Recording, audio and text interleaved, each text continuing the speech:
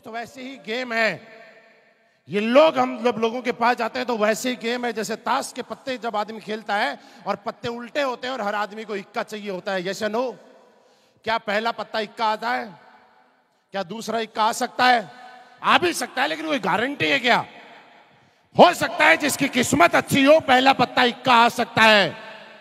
किसी का दसवां आ सकता है, किसी का बीसवां आ सकता है, किसी का पच्चीसवां, किसी का तीसवां, क्योंकि पत्ते उल्टे हैं। लेकिन जब पाँच पत्ते, दस पत्ते, बीस पत्ते, बीस, पच्चीस पत्ते, चालीस पत्ते पलट के और कोई बोलता है, अरे, कोई इक्का कर नहीं होता, सब बकवास है।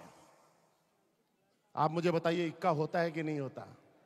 लेकिन जो आदमी जिद्दी होता है, वो एक काम करता है कि मैं तब तक पत्ते पलटूँगा, जब तक इक्का नहीं आएगा और ये किसी माइक के लाल में इस ब्रह्मांड में हिम्मत नहीं है कि 48 पत्तों के बाद चार इक्के ना आए, ऐसा हो नहीं सकता।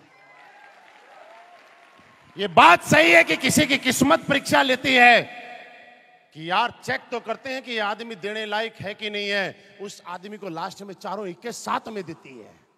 जिसको जल्दी आते हैं, उसको बीच बीच में आते हैं। लेकिन जिसकी किस्मत थोड़ी सी हार्ड होती है और परीक्षा लेती है तो उसको चारों इक्के तो अगर किसी को यहाँ पे ऐसा लग रहा है कि मेहनत बहुत कर रहा है लेकिन लोग काम नहीं कर रहे मेहनत बहुत कर रहा है लेकिन लोग नहीं जुड़ रहे मेहनत बहुत करना है लेकिन लोग साथ नहीं दे रहे तो याद रखना कि ऊपर वाला परीक्षा ले रहा है वो आपको चारों के चारों एक, एक साथ देने के लिए तैयार है लेकिन अभी आप परीक्षा के सेशन में चल रहे हो बस छोड़ना मत डटना मत उसकी परीक्षा के अंदर कभी फेल मत हो जाना पास होने की ज़रूरत है क्या पास होने के लिए तैयार है? तैयार है?